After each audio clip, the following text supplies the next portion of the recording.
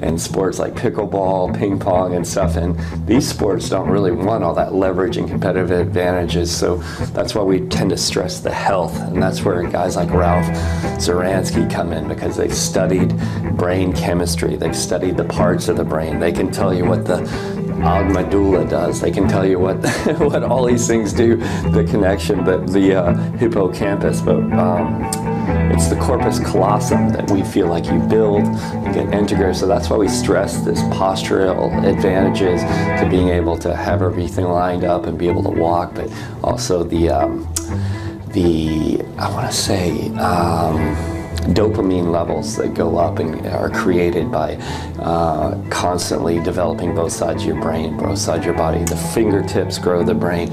Um, that's what this program's all about is, is learning to, to use both the fingertips and there's little things that you know but if you're just using one side developing one side same as it would physically you get sort of lopsided or you get overly competitive you get, you know, we always, even when, when you start this journey with a two-handle racket and developing your ambidextrous and your brain integration, your right side has had more messages.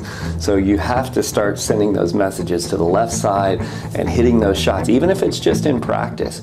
And, you know, but there, there will be times where he says, hey, let me just win this. And that's okay. You know, we just, all of us that started this racket, there was sort of a spirituality beyond it. We come from different religions, Christians.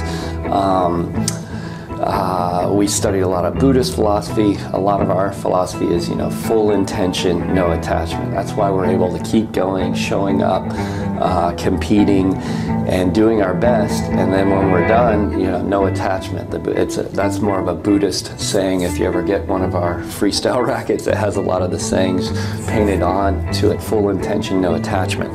Your suffering comes from attachment. We do our best in competition and let the chips fall, but we're not attached to winning and then that's all you can do. But if you're sort of lopsided and you can see it sometimes in people that, you know, they're super competitive, what we feel like Ralph's program and our racket brings is creativity.